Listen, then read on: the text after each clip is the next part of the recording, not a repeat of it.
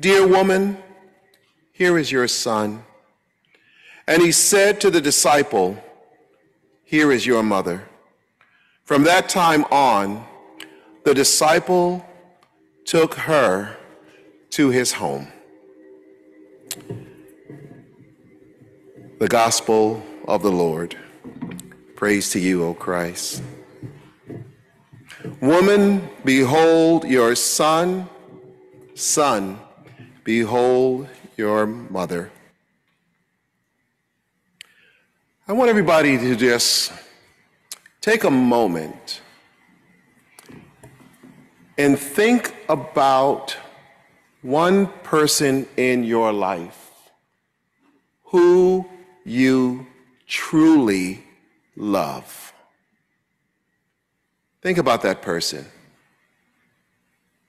Whether it's your spouse, your parent, your child, your pastor. And as you think about that person, think about all of the ways that you go out of your way to show that person how much you truly love them. The way that you will go to no end to show them how much you care. How few limits you will put in letting that person know how much you truly care for them, how much you truly love them, how much you would do for them no matter what the circumstances may be. Now, looking at it from the other side, how do you know that that love is reciprocal? How would you be able to tell if that person whom you love with all your heart loves you as much as you love them? The answer, beloved people of God, is not in the words that they say, but it's in their actions. And here's what I'm talking about. As we turn our attentions back to the scripture at hand, what we find is a situation that most people would say is truly heartbreaking. For here we have nailed upon the cross Jesus, a man who has just been beaten, he's just been humiliated, he's just been paraded through the town naked, he has been made a spectacle of, and then to top it all off, nailed to a cross between two thieves. And as he hangs there, the crowds gathered around to onlook, to mock, to make a spectacle of this event. In that crowd of people, you have two particular people who stand out. You have Jesus' own mother, and just a few feet away from her is the disciple listed as the one whom Jesus loves. And I can only imagine Mary, his mother, watching her son helplessly as Jesus hung there on that cross, knowing that that crown of thorns that they put on his head has got to be hurting her son, knowing that the nails that they have put in his hands and in his feet have left his body racked with pain, knowing that in just a short while, her baby boy was going to die. And the worst, there was nothing she could do about it. And then next to her, his disciple, whom Jesus loved, also watched in horror, watched in sorrow, knowing that his friend, his companion, his teacher his buddy, was hanging there, life slipping away from him. And again, realizing that there was nothing that he could do to come to the rescue of his friend.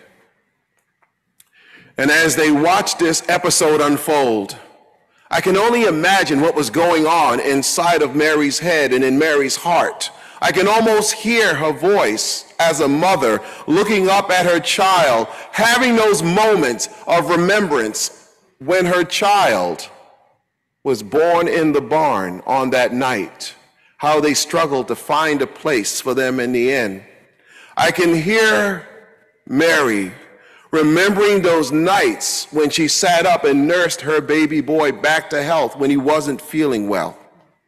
I can hear Mary's tears, remembering those moments when Jesus got his first baby tooth, when he took his first step, when he spoke his first word. All of those things that touched the heart of a mother things that you never forget that are locked in your heart and in your mind and makes that person special to you. Whenever your child walks into the room no matter how old they might be those memories just flood back and fill your heart. And now she's watching all of this as her son is hanging on that cross filled with emotions I can only imagine not only the tears that are flowing on the outside, but the anguish that she's feeling on the inside. But what would make that pain go away? Beloved people of God, here's where the love comes in on that story. As Jesus is on that cross going through all of the things that we just heard and will continue to hear as the other preachers come forward and bring their word. Jesus, in that moment, shows the entire world what true love looks like. He puts aside his own suffering. He puts aside his own dying. He puts aside his own pain to care for those who he truly loves. He looks out and realizes that his mother is going to be left with a hole in her heart that no one can fill. And if she went home alone, she would have that stuck in her mind until the good Lord called her home to glory. And so, in that moment, he took that opportunity to comfort his mother. He said to his mother, This is my disciple, my friend. He's going to need someone to care for, he's going to need someone to love him. Mother, receive him as your son. And then he turns to the disciple and says, My mother is going to have a hole in her heart that nothing can fill. But I want you to be her son in this moment. I want you to be the one to be with her and hold her hand when she's crying at night, remembering all of this in the days and weeks and years to come. I want you to be there to keep her company on those lonely nights when she's sitting there by herself wondering, where's my son? Beloved people of God, this is what love looks like.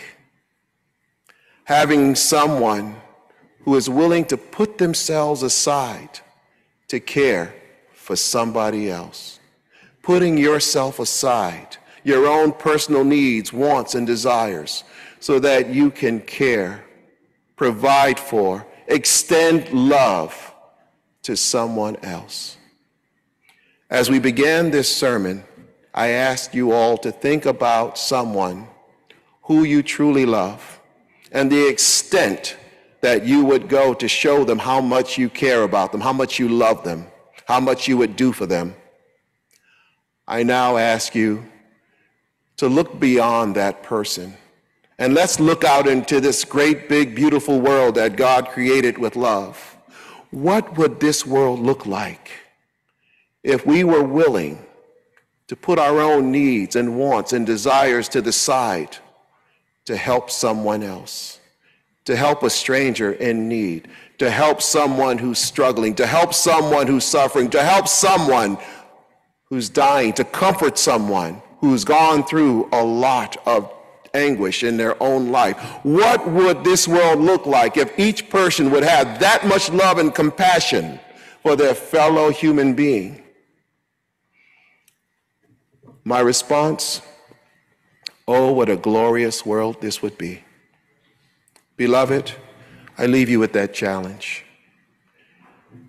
From this day forward, let's show the world what true love looks like caring for one another, sharing with one another, loving one another, treating everybody as if they were truly your beloved.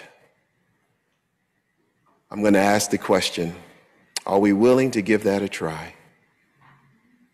Are we willing to see if we can show the world what God love looks like as we share it from ourselves out to those whom we encounter?